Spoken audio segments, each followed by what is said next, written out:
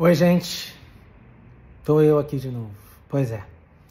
Saiu uma entrevista do Luiz Miranda no portal Metrópolis, onde mais? Com o jornalista Guilherme Amado, aquele que só ouve um lado, para falar dos supostos assédios que eu cometi, blá blá blá. Gente, é... eu fico triste mesmo. Fico triste, porque não é, não com a coisa em si, porque de alguma forma isso já é esperado assim por essa turma muito próxima, né? Luiz Miranda é um dos melhores amigos da Dani. É, mas eu fico sobretudo triste porque em mim há, há uma fagulha que de, de esperança que o jornalismo faça a sua parte que não somente escolha a manchete mais. Eu não estou nem falando do Metrópole do Guilherme Mato, que ali já não, não espero nada mesmo, mas assim, que, que ouça o que está sendo dito ali e que junte isso com tudo que já saiu, com as coisas que eu expliquei, com o que já foi revelado. Mas não, pega uma frase mais espetaculosa ou a frase de mais impacto e colocam ali é, para destruir, para sem, sem nem é, levar em consideração que tem um ser humano do outro lado, que tem família, que tem tudo, que aquilo que está sendo dito não se sustenta em nada. Em nada. Por outro lado, tudo que o Luiz Miranda diz nessa entrevista é um, um apanhado de contradições e mentiras tão gigante, mas tão gigante, que eu vou anexar a entrevista dele como prova de defesa e as pessoas não percebem. Quer dizer, muita gente percebe, muita gente comenta, mas digo, quem deveria perceber que é a imprensa? É lamentável que hoje você se informa, você pode se informar sobre isso mais nos comentários do que nas próprias matérias. Porque mostra que as pessoas estão acompanhando o caso, estão vendo o que já foi revelado, vendo as mentiras e as contradições, os ressentimentos. Essa entrevista é mais um apanhado de ressentimentos, o varandão do ressentimento ali, que ele muitas vezes tenta incutir a mim as frustrações que ele teve ali no programa, sabendo que se frustrações aconteceram ali para ele, não, não é responsabilidade minha. Sempre o tratei com o máximo respeito. É uma, é uma é tão absurdo que não, não, é difícil saber por onde começar a, a, desmontar esse, essa entrevista que é um monte de nada com coisa nenhuma. Mais uma vez, atenta, uma hora de nada. Do Guilherme Amado ali com a Olivia Meirelles tentarem empurrar assim uma, uma narrativa para ver se ele embarca e, e, e um pensamento livre, sem nenhuma contestação, sem nada ele diz coisas absurdas. Vamos lá, a gente vai atacar cada uma. Eu vou tentar não fazer um vídeo longo, mas é difícil, cara. Eu vou ter que abrir mão de muita coisa para não fazer um vídeo longo, para atacar os pontos principais. Mas não é possível, isso é nitidamente a entrevista de alguém que não acompanha o caso, que tem uma, uma missão, que virou uma missão, que é dizer que eu sou um assediador, deixa passar um monte de contradições e tal, e fica ali forçando a barra para o cara botar a culpa de qualquer coisa em mim. Quando ele mesmo diz que ele não pode dizer que o que ele acha que sofreu é culpa minha. É uma loucura essa entrevista. Essa entrevista é uma loucura completa. Mas assim, descarado, no nível de eu, de eu realmente eu vou anexar a entrevista dele como minha prova. E bom, esse começo já está longe, já está longo demais, mas assim eu, eu vou começar é, e vou antes pedir a você que está me assistindo mais uma vez, compartilhem os vídeos, compartilhem a minha voz, já que nem jornalismo Guilherme Amado finge fazer ao me, ao me perguntar o que eu acho do que estão falando contra, contra mim. Não tem nem o outro lado na matéria. A matéria não traz o outro lado. Aí eu tenho que mandar uma nota. Aí escolhe ali uma manchete, uns recortes dele falando nada com coisa nenhuma, que eu tenho que fazer terapia, e que, que eu usava é, é, poder, sexo como poder, frases baseadas em nada. Em nada. Então é uma loucura. Bom, compartilhem os vídeos. É, espalhem, se inscrevam no canal, porque cada vez mais as pessoas estão tomando é, consciência do que aconteceu. Vamos agora. Eu não quero. Eu tenho respeito pelo Luiz Miranda, eu tinha até essa entrevista, essa entrevista é, é calhorda, mas assim, eu vou, vou tentar aqui, calmamente, explicar é, as loucuras que ele diz nessa entrevista, tá bom? Mas assim, só fatos, porque assim, ele, ele, ele vai, num, ele vai, o pensamento dele vai por um labirinto que é difícil a gente alcançar. Você se perde dentro do pensamento dele ali, que, que não diz nada, que não viu nada. O que ele diz que viu é nada.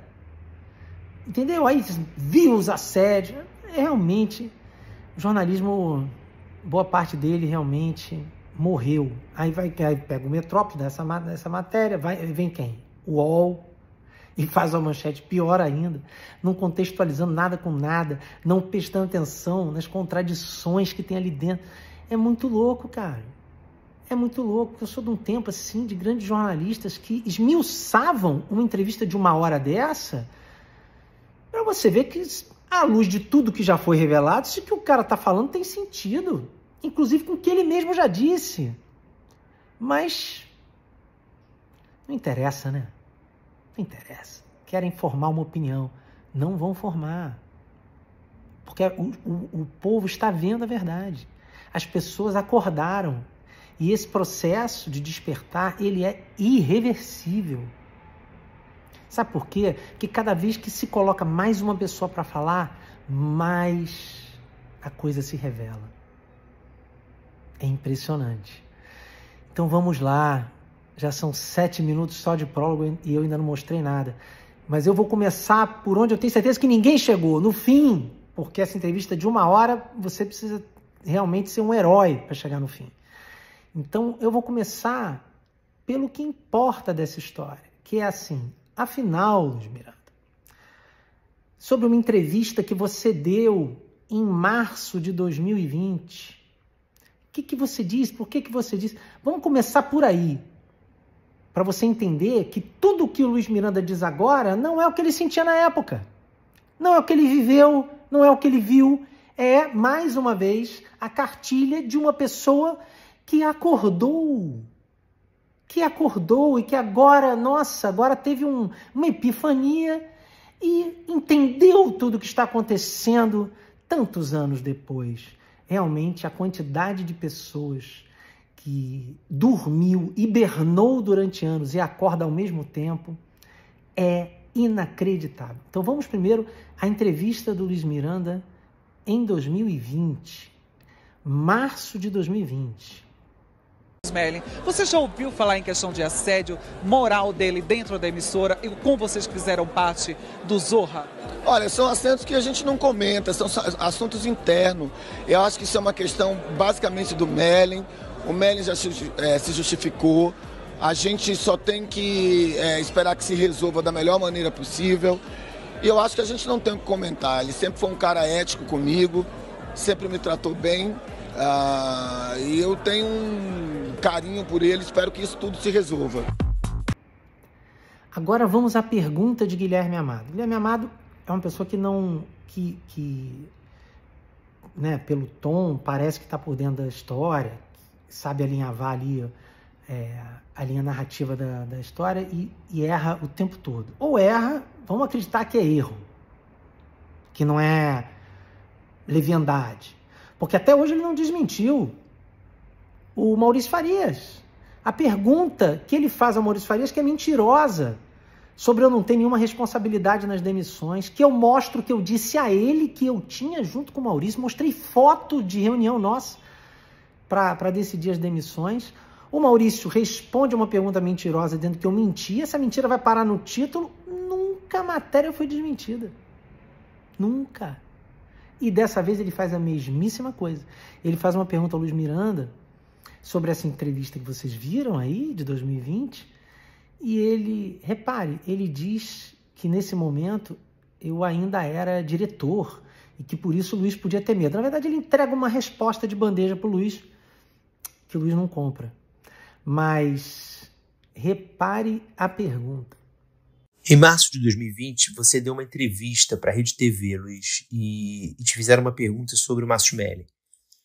Naquele momento, o Melling ainda era o diretor do Núcleo de Humor, né? E você disse que ele sempre te tratou bem e disse que ele já havia dados, dado as justificativas necessárias. Por que, que você disse isso naquela época? Não é verdade que eu era diretor de humor, eu já tinha saído da direção de humor e já estava de licença das minhas funções de autor e ator para operar minha filha. Então não é verdade. O Luiz já não era do, do núcleo de humor há dois anos. Ia ter medo de mim por quê? Se nem chefe eu era, e se chefe fosse, nem era dele. Então realmente o Luiz não, não cai nessa. E não, não pega, deixa que é dada assim de bandeja. Um dia eu vou fazer para vocês, aliás, que é bem interessante. Todas as vezes em que o Guilherme Amado ou o Lívia Meirelles entregam de bandeja para quem estão entrevistando já a resposta dentro da pergunta. É um exercício interessante para vocês verem o tipo de jornalismo que é feito no meu caso. Agora, é, vou mostrar a resposta do Luiz Miranda para vocês verem o que, que o Luiz Miranda diz, que desmonta toda essa hora de entrevistas ali porque é um cara que só acordou né, dessa epifania em, em 2020. Olha o que ele responde para o Guilherme Amado. Eu acho que isso não tem nada a ver com o que está sendo dito, entendeu? Ah, porque isso aí era no início das coisas, entendeu? Acho que muita coisa foi apurada, muita coisa foi vista. E eu acho que é uma, um, um, outro lugar, entendeu? Assim, eu acho que a gente entendeu muito a partir da investigação, e eu falo isso muito com relação às coisas que o Maurício disse, entendeu? Que agora, ligando, me faz é, é, é, é ter essa postura. Não é mudar de lugar, é realmente entender o que está acontecendo. Você tinha medo dele, Luiz? Alguma, alguma maneira de ser prejudicado profissionalmente? Porque ali, de novo, era março de 2020, não, as denúncias não tinham vindo à tona. É, quando você fala daquela maneira que ele tinha te tratado bem e tudo, era, era medo de ser prejudicado profissionalmente? Olha, eu acho que na verdade a gente não entendia o que o Márcio fazia. Só agora fica mais claro. Medo dele eu nunca tive. Ele não, ele não me intimidava, mas ele armava por trás. Agora dá para entender que era talvez ele que manipulava aquela galera toda. É, esse, esse, esse lado manipulador a gente não sentia, porque era tudo trabalhado com muito cinismo e muita simpatia, né? Eu acho que era isso. Ele diz, primeiro, que ali era o início de tudo. Não, não era o início. Ali já tinha acabado o compliance. Eu já tinha saído da direção de humor. Não era o início de tudo e ele não sabia, ele já tinha recebido o telefonema da Dani Calabresa lá atrás. Então, como assim era o início de tudo? Aí ele diz que muita coisa ali, quer dizer, que ele não sabia das coisas ali, que ele ficou sabendo depois da investigação. Como assim depois da investigação? Você teve acesso? O Luiz teve acesso à investigação do compliance? Porque eu não tive. Então ele teve acesso? Que investigação? Investigação dele com as pessoas? Ele não deixa isso claro. E outra, que ele acordou muito depois das coisas que o Maurício falou. Que acordou muito, muito depois das coisas que as mulheres falaram para o Maurício. Então, pô, gente, não dá. Não dá. Todo mundo viveu seis anos ali, Maurício seis, o, o Luiz um pouco menos, e ninguém viu nada que desabonasse minha conduta. Mas aí, um tempo depois, as pessoas vão falando e agora ele se tocou que o que ele viveu foi outra coisa. Pô, mais um, e ele diz o velho discurso de eu manipulei todo mundo. Quantas pessoas eu já manipulei aí? Eu acho que já dá para contar mais de 100. Porque se contar todas as, todos os atores, toda a equipe que era do Maurício, toda a redação, todos, toda a equipe, é, já dá 100. É uma loucura essa narrativa. As pessoas estão construindo um passado agora, a partir de agora, relendo todo o passado, E querem que você, que está aí me assistindo, acredite que todo mundo, todas essas pessoas, uma centena de pessoas, ficou enganada durante anos e anos. Mas mesmo assim a, a, narrativa vai e volta, né? Porque foi enganado, mas reparava umas coisas, mas foi enganado, mas reparava umas coisas, mas foi enganado. Pô, gente, não dá. Ele falou aquilo porque era o que ele achava. Aí vai dizer que eu que eu manipulei todo mundo e que agora ele acordou. Não dá. Ah, e, o repórter pergunta para ele assim: você tinha medo dele? Diz aí que tinha, né? Para dar uma força na narrativa. Não, ele diz que não. Aí, mas para dizer que não, que não tinha medo, porque eu tratava ele com muita educação e gentileza esses anos todos, ele diz o quê? Chama isso de cinismo e simpatia e diz que ele não tinha medo. Cinismo e simpatia. É isso aí.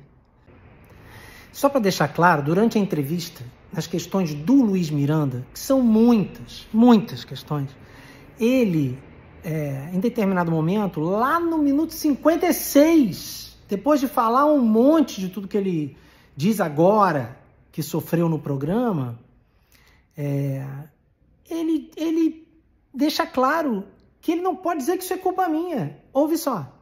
É, acho que tem, tem aqui nessa minha fala uma análise histórica do período que eu vivi, uma análise do fenômeno que está acontecendo tá? E das minhas impressões sobre como se deu e por que se deu até chegar onde chegou. Eu, na minha parte, eu brequei antes. Os assédios morais que eu sofri.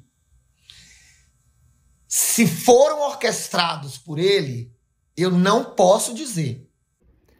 Agora, Luiz, pelo amor de Deus, não seja falso. O que você fala hoje das pessoas que conviveram com você é uma loucura. É uma loucura é, é, olha como ele se refere às produtoras que trabalharam com ele. É o único momento que ele fala palavrão nesse, nesse, nessa entrevista. Olha como ele trata as mulheres que é, produziam o programa. Nem falar mal de algumas produtoras que, que tinham me perseguido bastante, não sei amando de quem. Mas filha da puta que eu tenho vontade, entendeu? Que foram muito sacanas comigo e de, de, de, de tratamentos irônicos comigo, entendeu? De me perguntar quem eu estava pensando que eu era. Ou seja, ele foi boicotado por essas mulheres que produziam o programa. Mano de quem? Porque ele já tem uma reclamação também ali atrás, nas reclamações dele, sobre esperar demais, horário de gravação, quer ver? É, esperar muito para gravar, sendo colocados em papéis muito inferiores do que eu poderia fazer, figurando muito nas coisas, uh, não tendo tempo uh, e gravando em dias que me impossibilitava ir para minha casa, porque eu tinha um acordo de voltar para minha casa. Aí ele usa a palavra que está na cartilha de todo mundo que está nesse caso, né?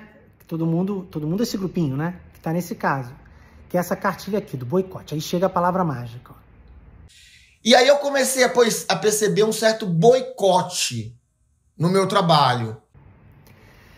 Só que ele diz que eu não tenho nada a ver com isso. Que ele não pode me acusar disso. Luiz, quando você saiu do programa, você mandou uma mensagem emocionada para todo mundo. Era falsidade aquela mensagem? Essa aqui? Olá, meus amores, tá? Tô aproveitando aqui nessa ida para casa para fazer um agradecimento muito especial a todos vocês, meus amores do Zorra, que eu vou sentir muita saudade, vou sentir muita falta. Foram quatro anos de muito companheirismo e amizade sincera, que eu acho que é mais importante isso. Sinceridade nas relações. Eu tenho uma afetividade, um amor verdadeiro por todos vocês. Todo mundo sabe é, o carinho que tenho por cada um, então eu não vou falar nome de ninguém aqui, tá? Agradecer a toda a produção, direção, redação, uh, meus irmãos e amigos atores, dizer que uh, a gente vai continuar aqui, tá? Junto. O telefone continua o mesmo, a relação continua a mesma. Muita sorte para vocês, tá? Muita alegria em fazer o que a gente gosta de fazer melhor, que é esse programa e que é trabalhar, tá? E eu espero encontrar vocês breve, muito breve. Beijos. antes de entrar propriamente na coisa do assédio, eu preciso perder um tempo para defender os meus colegas da redação, da produção, produção que era que era é, trabalhava direto com a direção, não conosco. A produção, a produção sempre é escolhida pela direção. É, é, eu não tinha acesso a esse, a esse lugar de comando ali. E, e, o que ele fala das pessoas é deselegante, é desagradável, como se ele tivesse sido boicotado, como se ele tivesse sofrido. Ele chega a falar em assédio moral, mas que ele não tinha muita consciência na época de que aquilo era um assédio moral. Luiz, tem que defender as pessoas. Você foi, você reclamava quando gravava muito e reclamava quando gravava pouco. Então você quer gravar ou não quer gravar? Aí você quer ir para Bahia para ficar um tempo em casa, mas quer vir e ao mesmo tempo quer fazer teatro e quer fazer. Vamos lembrar que ele fez temporadas do Mr. Brown, ele fazia uma outra série ao mesmo tempo que fazia o Zorra. Com a série com Lázaro Ramos e com a Thais Araújo. Óbvio que ele ia gravar menos. Como é que ele vai gravar dois programas ao mesmo tempo? É óbvio. E outra, em determinado momento ele foi fazer o Cinco Vezes Comédia viajando pelo país. Isso não vai ter nenhum impacto nas gravações dele? Aí depois vem dizer que está gravando pouco. Aí quando vai gravar, reclama que está muito tempo no Rio. Pô, não dá para reclamar de tudo e depois se sentir boicotado. Você fez o que quis o tempo todo. E saiu do programa quando quis, pela porta da frente, como você mesmo diz. Olha como ele diz, como eu tratei ele na saída. Conversei com o Maurício e conversei com o Márcio que foi super simpático, dizendo que a, a, qualquer momento que eu quisesse voltar, que eu podia voltar e tudo. É, sempre numa linha muito política e muito bem organizada, assim, comigo. Então, assim, naquele momento eu não, eu não, eu não percebia, não lia como um assédio moral o meu trabalho. Olha isso! E só para terminar com essa história de boicote também, que é outro absurdo.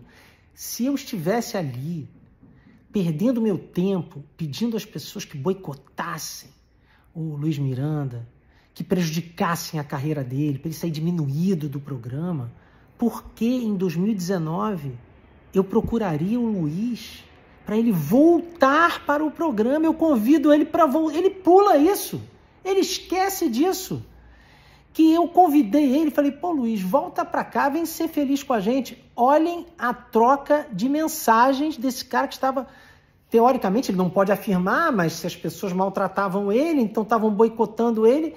Aí eu, que agora sou, viro responsável por um boicote ao Luiz Miranda, mando, troco essas mensagens com ele. Olha se não existe ali um profundo respeito profissional pelo ator Luiz Miranda. Meu amor, soube que seu projeto foi adiado, o Selvagem da Ópera. Seu Zorra está aqui de braços abertos. Quer voltar? Resposta dele. Meu amor, tão bom ouvir isso de você. Isso me faz acreditar no artista que somos, irmãos e afetuosos com o outro. Poxa, fiquei mesmo emocionado. Você pra me ganhou, viu? Estou completando PS, tudo muito anos daqui a um mês. Você deve imaginar minha cabeça. Avaliações um pra caralho. Vou avaliar com mais amor. minha cabeça. Avaliações pra caralho. Vou avaliar com mais amor. Estou digerindo as coisas, viu? Obrigado mesmo, Márcios. Meu amor, que bom ouvir isso de você. Somos irmãos na arte mesmo. Tenho muito carinho e admiração por você. Se vier, vai trabalhar com seus antigos amigos e com novos amigos muito, muito talentosos. Como Diogo Vilela e Marisa Hort. Prometo que tentarei muito que você seja feliz aqui. Pensa com carinho, respeito qualquer decisão. Poxa, Márcios, você é um sedutor, um cavalheiro. Muito obrigado. Aí, em 27 de novembro de 2019, ele responde: Meu amado, passaram os dias e eu não te respondi o convite. Eu, de todo o coração, agradeço demais seu afeto, amizade e consideração. Estou precisando muito me renovar e estou à sua disposição para novos desafios. Mas considero o Zorro um momento feliz da minha trajetória e agora preciso de algo novo, pois 50 anos de vida me fazem ter urgência pelos desafios. Um abraço enorme, estou por aqui. Eu respondo: vamos conseguir em outro projeto, essa parceria de novo. Grande beijo. Então, essa história de boicote, eu espero que já esteja mais do que esclarecido. Agora, sobre a questão do assédio, não dá, as coisas que ele fala vão contra tudo. Por isso que eu digo que eu vou anexar na minha defesa, porque vão contra tudo que, que já saiu, tudo que já foi esclarecido, tudo que ele mesmo diz, Luiz Miranda. Eu acho que é, jornalistas poderiam per perguntar ao Luiz Miranda se ele já foi depor. No criminal, lá na delegacia onde está a acusação contra mim, ele não foi depor. Ele não fala isso de que eu teria mostrado, que a Dani teria relatado na festa 100 essa história de mostrar o pênis, ele não fala. Porque ele não vai no criminal. Agora, um grande amigo me contou, grande amigo meu e dele, me contou que ele foi depor. Que ele foi depor não no criminal, no processo contra mim, mas que ele foi depor lá no Ministério do Trabalho, na ação contra a Globo. Agora, valia perguntar para o Luiz Miranda, se alguém da imprensa tiver interesse, o que, que ele falou lá. Se lá ele fala em algum momento de pênis. O que, que ele falou lá sobre o que a Dani falou naquela noite? E por que, que ele não poderia é, dizer é, o que aconteceu naquela noite com certeza? Luiz Miranda, você sabe o que você falou lá. Você acha que isso um dia não vai vir à tona? Eu confio na minha fonte. Diga o que você falou lá, Luiz. No Ministério Público do Trabalho, você falou em pênis de fora? Você falou alguma coisa sobre aquela festa? O que você falou exatamente sobre aquela festa? Eu acho que o povo merece saber, para confrontar as suas declarações. Mas vamos ver como é que ele narra essa história do, do pênis de fora, para não perder o gancho. Olha como ele diz que aconteceu. Determinado momento eu já tinha bebido, ela chegou para mim rindo e falou assim: o Márcio é louco, acabou de me mostrar o pau no banheiro. E eu ri. Eu falei, nossa, que louco. Entendeu? E ela veio sorrindo. Ela veio sorrindo. Combina perfeitamente com o que ela me diz um mês depois. Lembra que ela manda aquele emoji de berinjela brincando sobre o meu pênis? Isso combina com ela vir rindo. Ela só ela, ela erra ou ele conta diferente a parte do eu mostrei, que não fui eu que mostrei. Mas combina com a minha narrativa, com o que eu falei que é verdade. Então, a, ela vir sorrindo é muito diferente do que saiu na Piauí. E se eu não me engano, você diz que falou com a Piauí, não diz, Luiz Miranda? Em me afastando, esse, atono, esse assunto veio à tona pela ligação da, da, da Calabresa e em seguida uh, me procurou a revista Piauí e eu falei do que eu vi. Porque a, a revista Piauí foi bem é, é, pontual sobre o dia da festa, que foi o que eu pude falar. Ué, mas se você falou com a Piauí e você diz que ela veio rindo, por que, que a Piauí diz que ela veio chorando? Olha como a Piauí narra esse, esse pedaço. A atriz tentava soltar os braços e escapar da situação, acabou encostando mão e quadris no pênis de Mellen.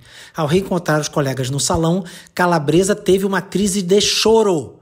Os atores Luiz Miranda e Jorge Salmo ofereceram a ela um copo d'água e confortaram a amiga. Aí não dá, gente. E a imprensa não quer saber dessa contradição? Ninguém quer saber? Afinal, Dani Calabresa na festa veio sorrindo? Porque havia um pênis de fora? ou veio chorando? Pela narrativa da revista, chorando. Pela narrativa da Dani, chorando. Pela narrativa do Luiz, sorrindo. Pela narrativa da melhor amiga, que não soube de nada, nada aconteceu. Não ouviu nada, não notou a Dani diferente em nada, não notou que ela só falou das coisas boas da festa. Ué. Gente, vamos combinar pelo menos duas versões, porque três ou quatro do mesmo fato fica difícil. Porque se você fala com a Piauí, a Piauí que estava chorando, você fala no Ministério Público do Trabalho, acho que não tem pênis lá. Depois você fala aqui nessa entrevista, ela está sorrindo. E a amiga, que você também cita en passant, que estava ali na festa, no bolo, e que volta um mês depois para o seu aniversário, não notou nada de estranho com a Dani. O que, que falta para as pessoas entenderem que tem mentira aí? O que, que falta para entender que está sendo tentado construir aí um, uma versão para essa mentira? Quantas contradições quatro pessoas ali são capazes de produzir? Não é possível. Quatro não, três. A Dani, quatro, né, com a Piauí. Piauí, Dani, Maíra Perazzo e Luiz Miranda. Os quatro dizem coisas diferentes. Os quatro dizem coisas diferentes. E tudo bem, gente? E tudo bem? Se em qualquer país sério essa acusação já teria sido arquivada. Não pode um negócio. Isso porque são todos amigos, hein? É só combinar direitinho. Se combinar direitinho, não precisa dessa mentira toda. Vamos lá, gente. Outra coisa, Luiz Miranda. Você diz, em determinado momento, para dizer que eu assediava Dani, você justifica dizendo é, sobre os nudes. Olha o que, que você fala sobre os nudes. Se a culpa das meninas for uma, foi uma mensagem de WhatsApp ou nudes, implorado, pedido, é, é uma sacanagem. Como assim pedido implorado por mim? Luiz, pelo amor de Deus. Pedido implorado, Luiz? Olha o que a própria Dani escreve. Mostrei sem você pedir. Pega muito mal esse tipo de mentira. E outra, para voltar à coisa da revista Piauí, que até então a revista Piauí tinha lá uma história mentirosa, que até a Dani assume que é mentira, da história de, de invadir camarim, entrar no camarim e, e pedir para ver ela de roupão. Essa história tinha ficado sem pai nem mãe, né? ninguém assume essa história. A revista nunca desmentiu e ninguém assume essa história como verdadeira. Não está em depoimento, a Dani nega na justiça e tal. Mas agora, vendo o depoimento do Luiz, que diz que falou com a Piauí, eu começo a entender de onde veio essa história de invadir camarim. Porque essa história aí, que justifica esse, essa manchete né, dos veículos, o Miranda diz que viu o assédio, que o assédio era eu invadir o camarim quando ela estava trocando de roupa. Esta narrativa não faz parte do depoimento da própria Dani. A própria Dani nunca disse que eu entrei no camarim dela quando ela estava trocando de roupa. Mas olha o que o Luiz Miranda disse. Pode parecer mentira eu especificar um caso específico.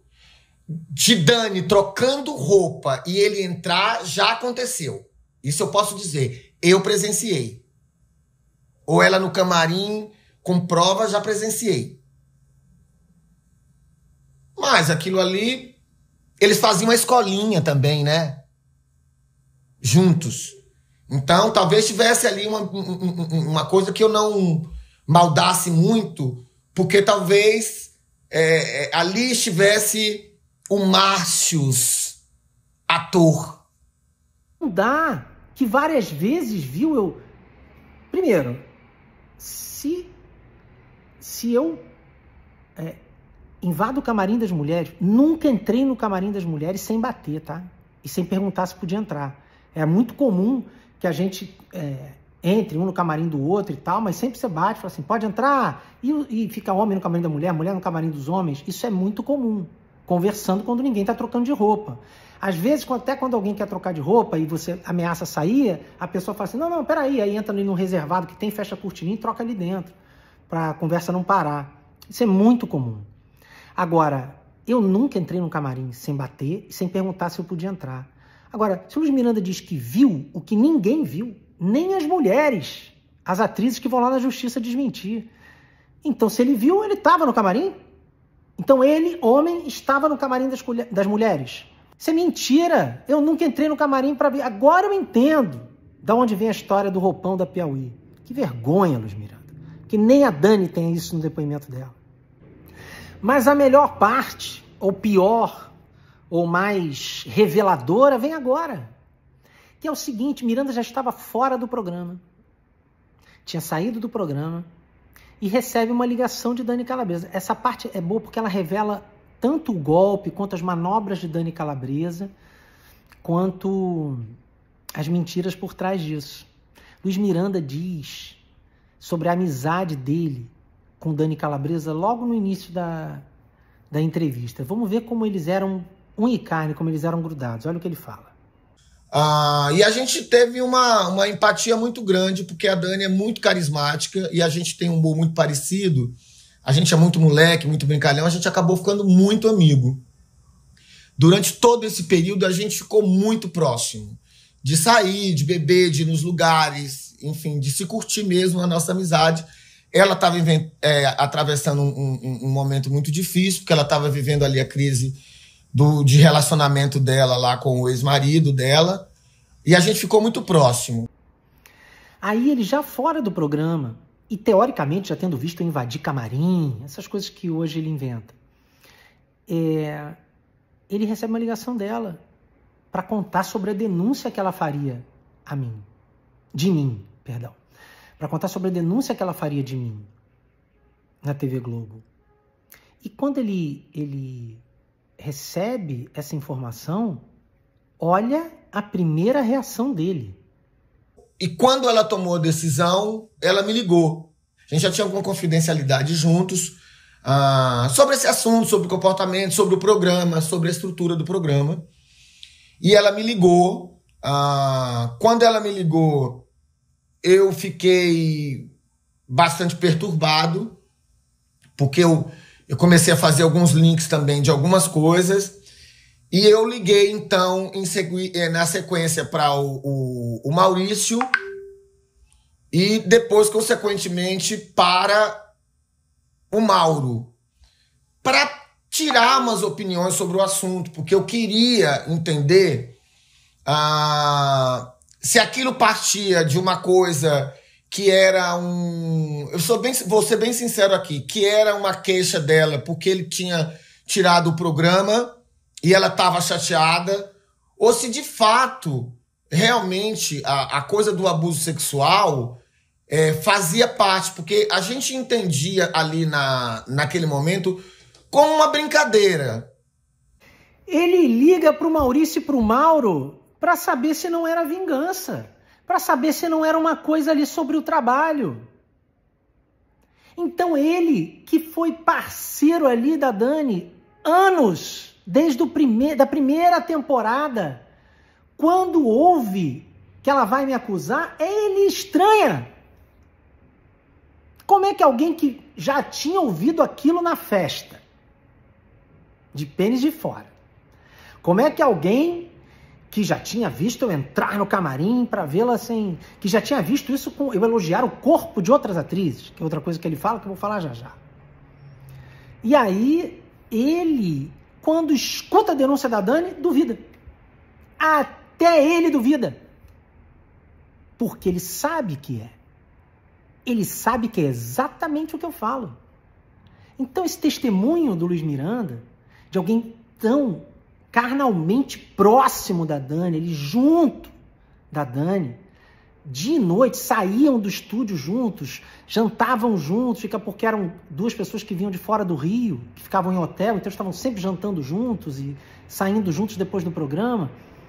Como a própria Dani tem milhões de mensagens.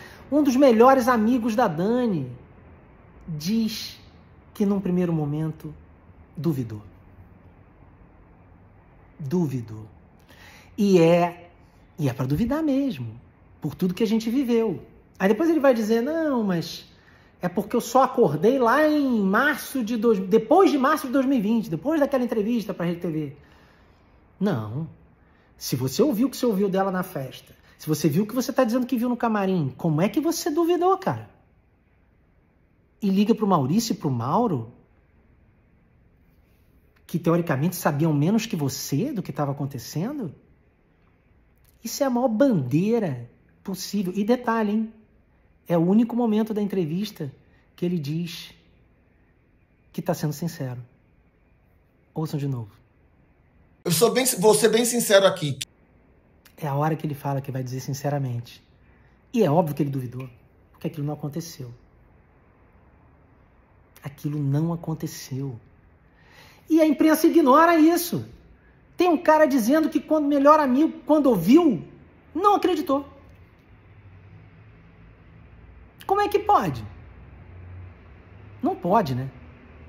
Não pode. Mas aí conserta-se a narrativa ali e tal, vamos focar no que interessa, que são nas frases feitas, na cartilha que foi ensinada para ele. Isso é que importa. E sobre a acusação de eu elogiar o corpo de atriz e agora ele vê que isso é assédio, para. Pô, todo mundo brincava com todo mundo. E outra, eu não, eu, quem ouve ele falar, parece que eu ia lá sempre que eu ia lá toda hora e ficava pelos corredores. Eu ia lá muito de vez em quando, conforme vários testemunhos. Eu não estava lá sempre. A própria Dani fala isso várias vezes, que eu não ia lá sempre. Que até tem um dia que ela falou, eu estranhei, porque ele não ia lá sempre. Não ia lá sempre. Então essa, essa história de que eu ficava lá elogiando o corpo... De... Para! E, ele, e olha o exemplo que ele cita. Que talvez eu chame, que, que vocês chamem de assédio, ou que esteja configurado como assédio, para ele passa, passa a ser brincadeira. Ah, tava fazendo uma piada com ela. Eu tava sendo o chefe simpático, elogiando uma atriz que tá bonita, que tá gostosa. Tá linda, hein? É isso? Você tá linda, você tá não sei o quê? Então isso aqui que o Mauro Farias, por exemplo, escreveu para Dani é assédio? Dani, sua linda, hoje era estúdio? Tá gata pra caralho nesses figurinos. Pois é. É a sério esse tipo de elogio? Diz aí. Ah, tem outra mentira que o Luiz conta sobre a festa, que é sobre a Dani ficar com alguém nos cantos. Olha o que ele fala. Olha, eu digo a você, isso eu posso atestar e assinar embaixo. Eu sempre saí com a Dani. A Dani é uma porra louca brincalhona. Mas eu nunca vi ela, ela chupando nem pegando ninguém em canto. Isso eu posso dizer. Como assim? Você quer usar como argumento para eu ter agarrado ela o fato de que ela não iria com ninguém para o canto? Ela já, ela já assumiu que ela já assumiu que ficou com outras pessoas nessa festa, inclusive o Pedro Câmara. E num canto. Não dá, cara. Esse, esse, argumento aí de que Dani não vai com ninguém para o canto, só nessa festa, eu não estou fazendo nenhum julgamento moral, não. Ela vai para o canto com, com quem ela quiser. Vida é dela. Agora, não dá para usar isso como argumento para dizer que, que, que não teria ido comigo, que foi. Quando a gente está no ambiente de trabalho, a gente não tem essa leitura, né? E assim, a presença dele no set, é, é, é, é naquela coisa toda, a gente não tem muito essa leitura, porque o Márcio sempre é uma pessoa que foi muito, muito simpático, fazia tudo com muita simpatia, com muito é, você não percebe isso, assim. Ele diz que quando está no ambiente de trabalho não tem essa leitura. Como não tem? As pessoas todas querem convencer você que está me vendo, você que está assistindo esse vídeo, você que está vendo essas entrevistas e essa história toda ao longo desses anos. As pessoas querem convencer, todas querem convencer você de que elas são puras e ingênuas, que não tem nenhuma malícia, nenhuma maldade, que coisas pérfidas estavam acontecendo e ninguém via nada. Aí, ao mesmo tempo, quando interessa, diz que viu alguma coisinha, que falou alguma coisinha. Para voltar na história dele ter. Só para entender como nada bate com nada. Para voltar na história de que a Dani teria falado para ele na festa, que não é verdade. Mas ele diz que falou rindo. A Piauí falou chorando. O Ministério Público do Trabalho falou? Essa pergunta tem que ser feita a ele. Agora, a Maíra não viu nada. E outra, a grande amiga dela no programa, Maria Clara Gueiros, a quem ela agradece pelo apoio em todos os momentos, diz que só ficou sabendo dessa história do pênis para fora um ano e oito meses depois da festa. Como é que ela conta no mesmo dia para Luiz Miranda? No mesmo dia, na mesma noite, ela conta para Luiz Miranda. Não conta para ninguém, nem para Maria Clara Gueiros e Luiz Miranda, também, por esse tempo todo, não conta para ninguém. Como é que alguém acredita num negócio desses? Isso contraria qualquer lógica. Porque o Guilherme Amado tem uma, um mantra, né? Qualquer coisa que você fala, você fala assim: a mulher assediada nem sempre reage como a gente espera. Ok, então a Dani pode ter demorado um ano e oito meses para falar com a Maria Clara de algo que ela já tinha falado para o Luiz Miranda. Mas e o Luiz Miranda? O que, que justifica o segredo dele? Sobre essa história que foi contada ali na festa, com todo mundo bêbado, como ele diz. Não fecha, a história não fecha, não casa. E eles continuam tentando. E para fechar, eu queria deixar um, um recado aqui que para o Luiz, que é um lamento, assim, que é o que ele me acusa hoje de talvez ter feito, mas ele não pode dizer que fui eu, que é boicotar o trabalho dele. Isso que ele diz nessa entrevista sobre como eu cheguei na direção de humor, que foi fazendo lobby, que foi não dando, roubando crédito, como ele diz, puxando tapete, que eu tirei o Maurício do programa. Essas coisas não fazem o menor sentido, essas coisas são mentira. Não roubei crédito, já expliquei a história do crédito. Não fui eu que tirei Maurício do programa, foi a direção da emissora, porque Maurício tinha uma novela para fazer e já não estava no dia a dia do Zorra há muito tempo. E você diz que eu cheguei nesse lugar fazendo lobby, construindo ali um, um, um raciocínio de que outros diretores. Vamos ver o que ele fala. E é muito impressionante, isso eu posso dizer uma avaliação super pessoal. Fiquei muito impressionado, por exemplo, com a distância de crescimento do Márcios com relação a outros, é é, é, é, é, outras pessoas que eu vi crescendo lá dentro. Assim, então, se fazia parte de um, de um, de um jogo de lobby ou de sei lá o que que se pode, assim, também muito poderoso, de uma aproximação que não é uma, aproxima, uma aproximação comum de, de, de, de, como é que eu posso dizer, de condutores, de, de, assim, diretores mesmo para começar a dirigir ou para começar a escrever, as pessoas ralam muito. Isso é de uma maldade, você querer diminuir o esforço do outro, diminuir o talento do outro. Isso é covardia. Isso é classificado como assédio moral, que é você querer humilhar o outro, dizer que o outro não mereceu o cargo onde estava. Mas bom, o que, eu vou esperar de alguém que reclamava, inclusive, da própria Dani, do tamanho que a própria Dani tinha no programa? Olha o que ele fala sobre isso, porque ele não era indicado para prêmio por causa do tamanho da Dani no programa. Entendeu? Mas assim, ela tava bombando, cara. Ela era protagonista geral de tudo. Assim, é, teve um momento do programa que só dava ela. Então, assim, era ruim. A gente não conseguia nunca nem ser indicado a nenhum prêmio de humor, porque eu, era, era quase o programa da Dani. Então, uma pessoa que tem esse nível de inveja até do próprio amigo, da própria amiga, melhor amiga, dizer que eu assumi aquele lugar e que aquilo não foi pelo meu talento, que aquilo foi por um lobby, é de uma maldade é muito, é muito feio. É muito feio, porque você, agora todo corajoso, né? Na época não falou isso pra mim, não. Nem para ninguém. Por que não falou na minha cara na época? Corajoso. Por que não falou aos quatro, aos quatro ventos lá, para quem quisesse ouvir? Por que não deu uma entrevista dizendo isso, em vez de ficar me elogiando nas entrevistas? Então, sempre dizendo que eu tratei você sempre com ética, como foi, e que hoje você diz que foi cinismo, que hoje você diz que era um jogo duplo. E outra, para fechar, você dizer que o encerramento do departamento, você querer insinuar que o encerramento do departamento e não ter nada no muro é por minha causa? Olha o que você fala, Luiz. Então, é sobre o mal que causou a muitas pessoas. É sobre o mal que causou a um departamento.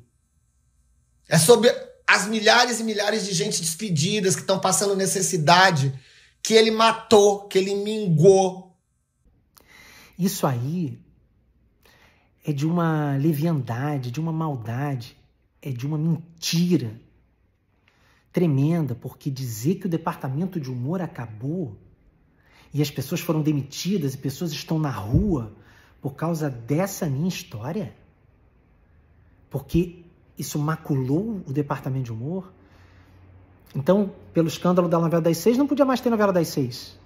No escândalo que teve em 2017 com o ator da novela das nove, não podia mais ter novela das nove. O que você está falando, cara? É, é o contrário. Essas pessoas aí se prestaram a esse serviço, deram um golpe para me tirar do lugar, deram um golpe para me tirar da frente, sem ter a menor capacidade de assumir aquele lugar. sem o menor talento para construir alguma coisa, porque o projeto dessas pessoas era um projeto de destruição de uma pessoa e não de construção de um novo futuro para aquelas pessoas que ali ficaram. A Dani só interessava ter o programa dela, que ela conseguiu, e depois de duas temporadas foi tirado do ar. E para aquelas pessoas que interessavam estar no novo programa que surgiria, depois tudo foi terminado, o programa não foi à frente, porque essas pessoas aí não serviam para estar naquele lugar. Então, essas pessoas destruíram, se prestaram ao serviço de quem já queria destruir um departamento. Porque quando eu saí, Luiz Miranda, eu deixei um departamento com centenas de pessoas empregadas, com um orçamento para 2020 aprovado. Tanto que teve zorra em 2020, mesmo com pandemia. Eu deixei um departamento organizado, com programas organizados, com orçamento e com pessoas contratadas. Foi assim que eu deixei o programa. Foi assim que eu deixei a direção de humor em março de 2020. E essas pessoas que se juntaram para dar um golpe não tinham nenhum projeto de construção, não tinham nenhum projeto para depois empregar essas pessoas aí. Pelo contrário, muito pelo contrário. O projeto dessas pessoas era um projeto de apenas e tão somente destruir. Tanto que, o que, que por exemplo, Marcelo Adnet fez durante a pandemia? Um projeto para salvar as pessoas que poderiam perder o seu emprego? Não. Ele fez um, um, projeto que eu não lembro mais o nome, que acho que é Sozinho em Casa, Sozinho de Casa. E depois deu N entrevistas, é só buscar. Dizendo que ele aprendeu durante a pandemia que dá para fazer humor sem recursos. Quando ele diz, quando, quando um cara do tamanho do Marcelo Adnet diz que é possível fazer humor com pouco recurso, que é possível fazer humor só com o próprio celular, dentro da própria casa, sem figurino, como ele se gabava, sem figurinista, sem peruca, sem maquia, maquiadora, caracterizadora, sem nada, o que ele está sem produção, o que ele está sinalizando para a maior emissora do país, que nós demoramos anos para dizer que o humor precisava de dinheiro para fazer bem feito. O que ele está dizendo nesse momento é: não precisa de dinheiro, não, eu faço com meu celular aqui em casa, pode mandar todo mundo embora. É aí que você vê quem constrói para todos e quem constrói para si. Então não vem botar na minha conta a destruição desse departamento de humor, não. Isso foi destruído por quem já queria destruir dentro da empresa, porque era caro, porque tinha qualidade, porque incomodava, num período em que a Globo estava demitindo. Então era ótima, ótima desculpa. E quem me destruiu, quem me deu o golpe, não teve capacidade de assumir criativamente um lugar e mostrar que o humor continuaria merecendo verba, espaço, até hoje, três anos depois que eu saí. Qual é a desculpa agora? Tem mais pandemia, tem mais nada. Qual é a desculpa agora dessas pessoas que não constroem nada que não seja para si? O humor era o bolo. A gente tinha vários bolos e o humor virou a cereja do bolo. Ele é um quadro aqui, um quadro ali, um pedaço dentro de um programa, um pedaço dentro daquele programa. O humor virou o enfeite, a alegriazinha, a cerejinha do bolo de alguém. Quando a gente tinha bolos deliciosos que a sociedade consumia, que davam ibope. Essa destruição está na minha conta não, está na conta de todos vocês que ajudaram nesse golpe. Engulam essa. E três anos depois, cadê o departamento de humor? Não tem.